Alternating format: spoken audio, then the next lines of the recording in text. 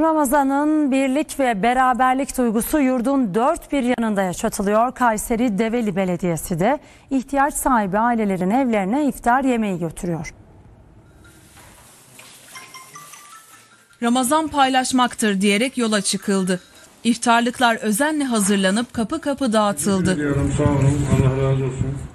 Kayseri Develi Belediyesi bu yılda gelenek haline gelen Ramazan yardımlarını sürdürüyor. İhtiyaç sahibi ailelerin iftar yemeği belediye tarafından karşılanıyor. Rahmet ayı, kardeşlik ayıdır.